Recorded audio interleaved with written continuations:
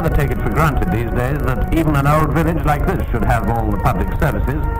The telephone, for example, the bank, electric lighting, a bus service, a postal service, and there's nothing strange about there being a Ford dealer there too, for the service he offers takes its place today with all the other public services. I'd better introduce myself. My name is Leslie Mitchell. My car is being serviced across the road. When I took my car into the Ford dealers just now, I couldn't help noticing the way in which I was received. Good morning, sir. Good morning. I want to make sure service. Can you do it right away? I'll just check up, sir. The receptionist was not only smart and well-groomed, but he was also extremely pleasant. I don't mean any kind of servile politeness. He gave me the impression of being one of those men who are proud of their jobs and welcome any opportunity of showing it. Can you spare three quarters of an hour? Surely, and while you're about it, will you give it a general check-over? Very good, sir. Thanks. We all know the sort of garage where you drive in, blow your horn, and nothing happens at all. Then at last a greasy individual comes up, wiping his hands, obviously very busy at something else, showing plainly that it isn't really his job to find out what you want. Well, you can see for yourself there was nothing of that sort of thing here.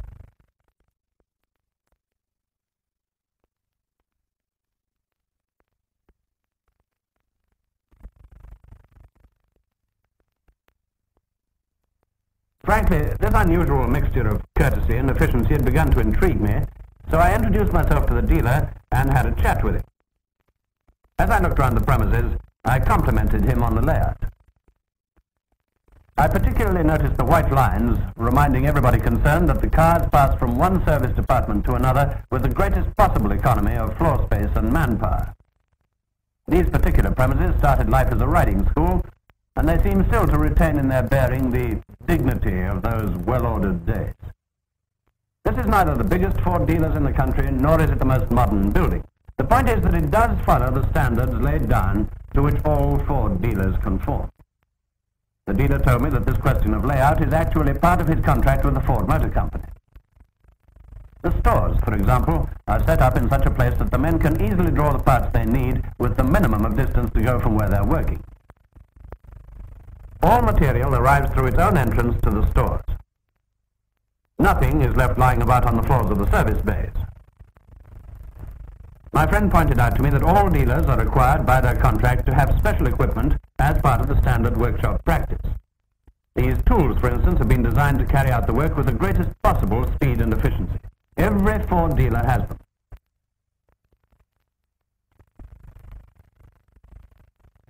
Another special piece of equipment is the test set which the mechanic was using on my car. This makes a complete diagnosis of the engine in the space of a few minutes. At this particular moment, the removal of a plug enabled him to test the compression. Rather like the doctor testing a patient's blood pressure. And like the doctor, the mechanic was able to read the exact pressure on a dial. But the dials on the test set tell the mechanic much more than this. They tell him the condition of the plugs, the points of the distributor, the output of the coil and the dynamo, and the correctness of the tuning. And within the space of a few moments, all these results are noted down.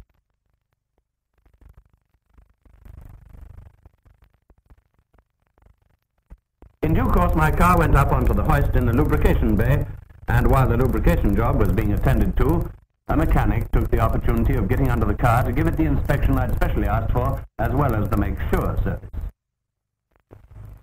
It seemed to me that there couldn't be a great deal of profit to the dealer out of the make sure scheme. I asked him about this. You can't make very much out of this. I do, in the long run. Thanks to the Make Sure scheme, I've a couple of thousand customers who come to me regularly. I see. It's the volume of business that builds up. Exactly. Besides, when drivers come to me regularly, I get a real chance to check over the performance of their cars and keep them in good trim. The motorist's happy because he gets better value for money. And you're happy because turnover goes up. Certainly. I'd much rather have a good turnover in a regular line of business like servicing than wait till cars go wrong and then get it the hard way for repairs. That sense. Excuse me a moment. Surely. Incidentally, while I was on the premises, I noticed that nearly all the conversation was on the subject of performance, even in the case of women drivers, of whom several arrived while I was there. A replacement engine going into a car made me ask the dealer how it was that the Ford engine exchange scheme could be run so cheaply. It's a matter of standardization. Not merely is the reconditioned engine you get warranted to give you the same performance as a new engine. To all intents and purposes, it is a new engine, isn't it? Well, let's say as good as. But the special equipment, the layout of the premises, and the trained mechanics keep to a minimum the time taken on the exchange, and that permits the low price for the job. This is particularly important with commercial vehicles, where time off the road means loss of money. And this question of standardization doesn't merely operate in the case of engine exchange. While my car went out for a road test, I went into the office and learned something about the management side. Now, I don't suppose the ordinary motorist worries very much about that. Certainly I don't, or rather I didn't. But let me show you just how this affects you and me. Is this standardization, not only of parts, but of practice, which maintains repair charges at the lowest level and makes it possible to publish this book which tells the Ford owner exactly what the labor charges would be. Parts used, of course, are extra to this, but standardized.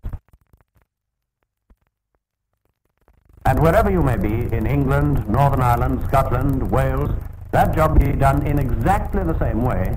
Identical replacement parts will be used, and the time taken will be the same, by men who have been trained at the same school under the same system. There are over 300 Ford main dealers in the British Isles and over 1,250 other authorized dealers. It's the function of management in each of these dealerships to see that you and I get the service which these days has become synonymous with the name Ford. Take this question of training mechanics, for example. I saw some certificates hanging on the wall of the office. It was news to me, and it may be news to you, to know that every single Ford dealer sends his mechanics to the Ford Training School for training in Ford workshop practice. Seeing my interest, the dealer suggested I should go to Dagenham to have a look at the school there next time I was in that part of the world. Before we parted, I made a promise to go.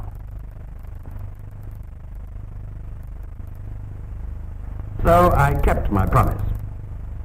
Where the great chimneys of the plant rise into the air by the side of the River Thames at Dagenham, housed in a special building some distance away from the main works, is the school where employees of the various dealers throughout the country come to be trained in Ford workshop practice. I hate to harp on the same subject, but the word layout has got to pop up again. The first thing that struck me as I walked around the school was the admirable layout of the place.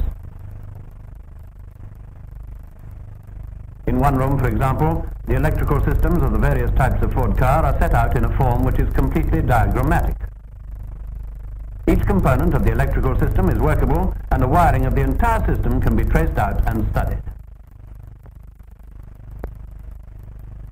In another room, you'll find them at work on the front wheel suspension system. And again, you notice here is the particular subject of study set up completely detached from the rest of the car for easy examination. In another room, we find the back axle. This, too, is separated from the rest of the car for study. And it's when you watch instruction like this that you realize how it is that Ford service comes to you in every part of the country at the same price and always taking the same number of man-hours to perform. Here, method, accuracy, and speed are taught. In another room are various Ford engines stripped down for study.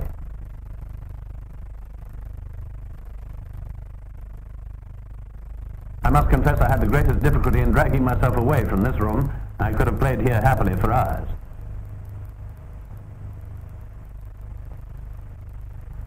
In another room, the various types of tractor are stripped down so that all their running parts can be examined.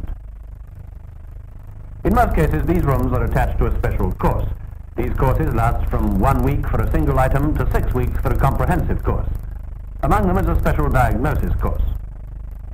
And here I saw them learning to operate my old friend, the diagnosis test set, which I'd seen at my local dealers being used on my car. I was particularly struck when I went to the school by the excellent type of pupils.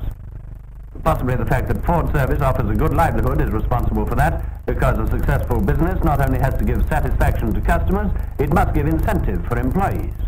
Between two and three thousand pupils are trained here every year.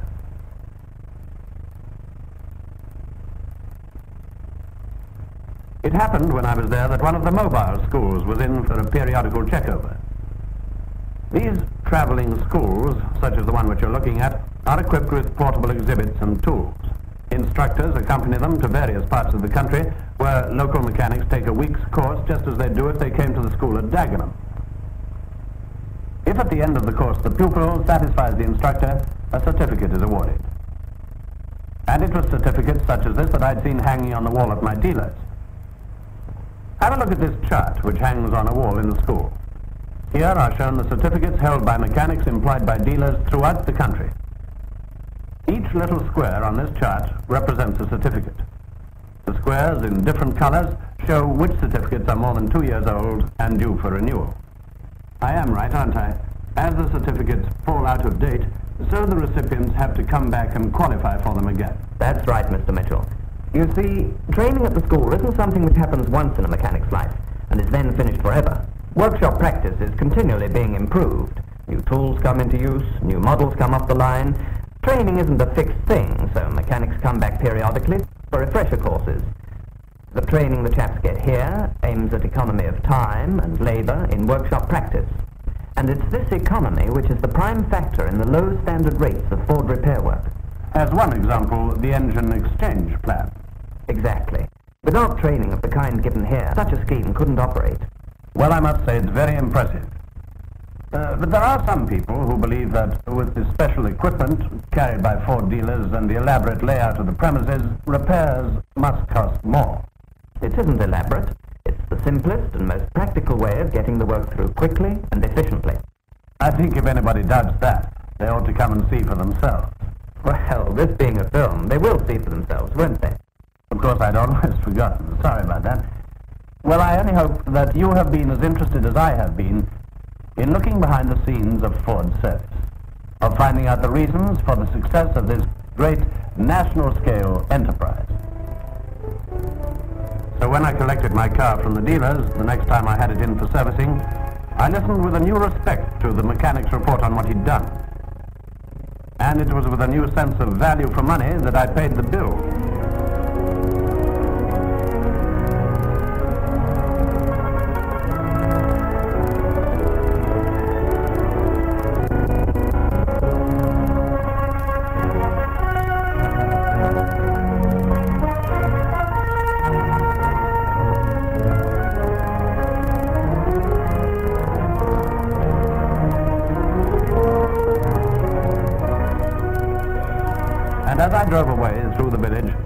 Reflected that when you or I buy a Ford vehicle, we buy more than a vehicle. We buy a way of travel that belongs to the best traditions of English life. The tradition of service, which is as old as the road itself, but as new as the latest Ford car rolling through today into the miles of tomorrow.